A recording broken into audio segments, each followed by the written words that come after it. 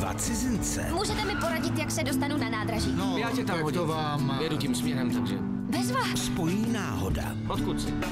Jsem z Berlína, z Německa, ale žiju v Rakousku. Na cestě napříč Kalifornií zjistí, Snažíš se hajlovat nebo si se mnou plácnout? Dej mi pět, piv. že ačkoliv jsou úplně odlišní, Jsem jako námořník, co opustil jeden břeh, ale ještě nedoplul k tomu druhýmu.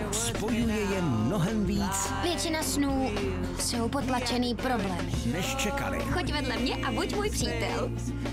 Příběh jedné jízdy. Ve čtvrtek ve 2015 na Joj Cinema.